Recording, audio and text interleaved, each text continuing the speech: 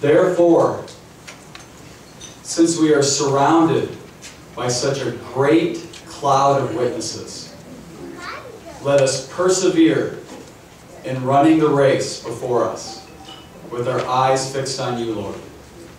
In light of that verse from the book of Hebrews, we're all life runners. And if you need more proof, you may remember that when the apostles heard that the rock was rolled away from the tomb, what did they do? They ran.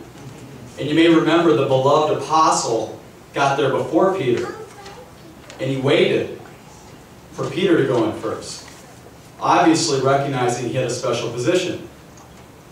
The important thing to remember there is you don't have to be the fastest runner to be the Pope.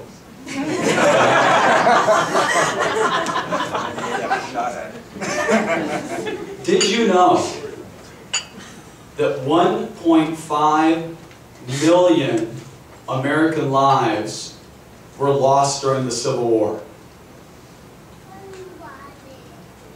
And thanks to a lawyer by the name of Abraham Lincoln, he ended that. And he put an end to the second biggest social injustice issue of our time. We have a civil war going on right now in our country. And we're losing in the neighborhood of 1.5 million American lives per year. How's that for perspective going into this?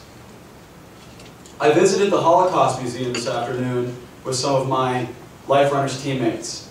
And it brought back a memory from when I visited Dachau in 1987. And I remember one of the stories that I read when I was at Dachau that folks, when they'd hear the trains go by during Mass, they would sing louder. When they heard the trains going by on the way to the concentration camps, they would sing louder. Our culture today is trying to sing over the horror of our own Holocaust. So this is the perspective that we gather today. And my hope is that we don't sing louder today, but we listen harder. And then we act more. And then we all sing together when this is over. So I would like to let all the folks that are speaking know uh, how this is going to work. They all know they have a certain number of minutes allotted. And the cue for you that you have one minute remaining will be that I will stand up. So everyone else will know this, okay? Everyone will know that you have one minute. The cue that you have 10 seconds remaining is I'll actually move towards you. and we're going to see if a lieutenant colonel in the Air Force can help keep us on time. Because I know that people have a lot going on on this great March of Life retreat weekend.